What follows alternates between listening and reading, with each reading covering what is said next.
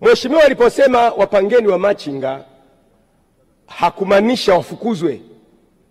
Kupangwa wa machinga sio lazima uwaburuze ukawaweke kwenye kibanda. Dhana ya machinga, machinga anamfata mteja, machinga hafatwi na mteja. Hiyo ndiyo dhana ya machinga.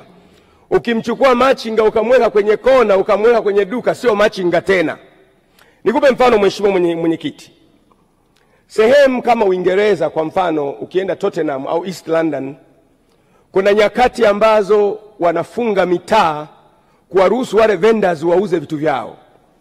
Hata wakati mwingine, wakati fulani hapa, wakati wa utawala wa mzee Kikwete, ile barabara yetu ya, ya, ya, ya, ya, ya karibu na makao makuu ya Chama cha Mapinduzi, Jumamosi walikuwa wanafunga ili hawa watu wauze vitu vyao. Nilitegemea watendaji wenye akili yenye kupanga vizuri wangewaza baadaye ya kuwafukuza wamachinga wawe angalau na machinga's day, waseme wamachinga, fanyeni kazi yenu Jumatatu au fanyeni kazi yenu Jumanne au Jumatano, kuwe na siku mojawapo ambao mamachinga wanaruhusiwa kufanya kazi zao ili kuruhusu utaratibu mwingine uendelee. Ukifanya kama ulivyofanya kwa wamachingas leo, na kuhakikishia wamachinga watarudi tena mitaani kama kawaida. Huwezi kuwaweka kwenye banda wamachinga na ukafikiri watakaa pale. Alafu mheshimiwa mwenyekiti, hawa machinga ni fans wetu wakubwa wa uchaguzi na ndio wapiga kula wetu wakubwa sana. Tunapowavuruga leo, watatuvuruga siku chache zijazo, tutavurugika kweli kweli, na tuzifanya hatuoni. Kuna msomi mmoja aliwahi kusema, akasema ni afadhali kisu cha daktari kinachopasua ngozi kwa lengo la kuponya kuliko dawa ya kuondoa maumivu inayomponya mtu kwa muda alafu ikampeleka kwenye maumivu ya kifo. Lazima tuseme ukweli kwenye swala la machinga, we are on the wrong destination. Tumeenda vibaya na wamachinga hawa watatuhukumu siku chache zijazo.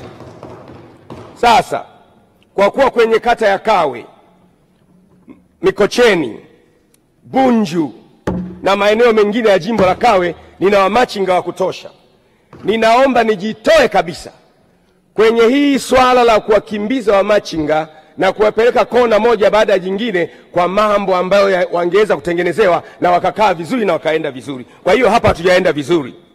Na mheshimiwa mwenyekiti, nataka niseme kuna baadhi ya watu wanamheshimiwa mwalibia mheshimiwa rais. Mheshimiwa rais alikuwa na maana njema kabisa, wapangwe wa machinga.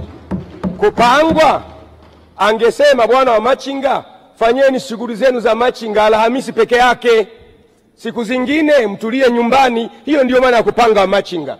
Huwezi kusema wamachinga wajipange wakati ni watu wenye njaa, wanahitaji chakula na after law, kusema ukweli, hatuwezi kufikia hitaji chakula na after law, kusema ukweli, hatuwezi kufikia mpangilio wenyewe ule kwetu huku. Hii mismatch ya machinga ndio yenyewe. Kwa hiyo mheshimiwa uh, mwenyekiti, nataka kusema hapa hatujaenda sawa, na lazima tujue lile soko la Ilala la machinga litengenezwa, halina machinga mle sasa hivi tunatengeneza masoko mengine ya machinga hayatakuwa na machingas. Machingas wataendelea kuzuhula mitaani. Kwa hiyo lazima tuwe na namna nzuri ya kuwahenda hawa mabwana, kwa sababu nao ni Watanzania wenzetu. La mwisho, mheshimiwa mwenyekiti, Naomba utumie dakika moja kuhitimisha, Mheshimiwa Gwajima. Mheshimiwa mwenyekiti, dakika zangu zimekimbia haraka eh. Mheshimiwa mwenyekiti, naomba sasa nihitimishe kwa kusema ni vizuri viongozi wetu wakubwa wanaotoa wanapotoa maelekezo watekelezaji walio chini waangalie modality nzuri ya kutekeleza hayo yaliyosemwa na kiongozi ili kuondoa kumfanya kiongozi aonekane ameharibu. Nakushukuru sana Mheshimiwa Mwenyekiti.